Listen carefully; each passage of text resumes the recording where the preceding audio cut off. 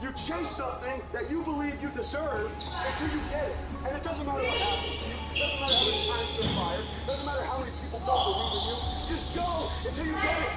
That's the point. Are you tired yet? Some of you